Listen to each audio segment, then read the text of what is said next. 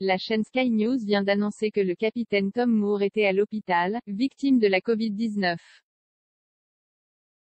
L'état de santé de l'homme qui est à l'origine de la plus grosse collecte de fonds en faveur du système de santé britannique inquiète ses compatriotes fiers de leur héros.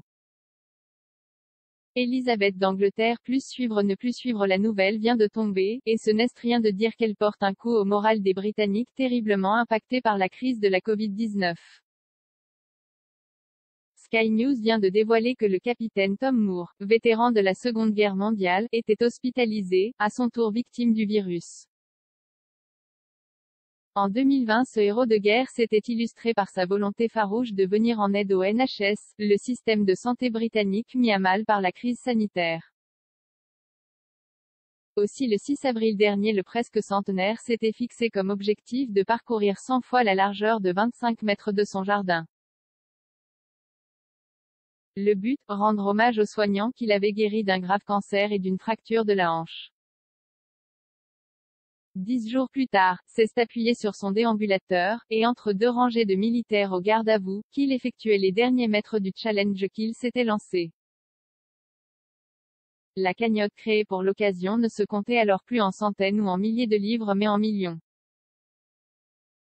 Les Britanniques bouleversés par le courage de l'homme alors âgé de 99 ans avaient versé plus de 33 millions de livres sterling pour les services de santé du pays. Tom Moore, un héros si discret pour son centième anniversaire, le monde ému a célébré son héros. Il a ainsi reçu une lettre personnalisée de la reine, plus de 140 000 lettres du monde entier et un doux message de William et Kate dans lequel on pouvait lire « Nous souhaitons un merveilleux anniversaire, à cet homme extraordinaire, véritable machine de guerre de la collecte de fonds ». Le 17 juillet dernier le conte de fées continuait pour le vieil homme qui était anobli par Élisabeth II. Apprenant que Sa Majesté allait faire usage lors de la cérémonie, de l'épée de son père George VI, le capitaine avait laissé échapper avec malice, j'espère qu'elle n'aura pas la main trop lourde avec l'épée. Ce 31 janvier c'est sa fille qui a annoncé que Tom Moore avait été hospitalisé victime de la Covid-19. Un espoir subsiste néanmoins car il ne serait actuellement pas en soins intensifs.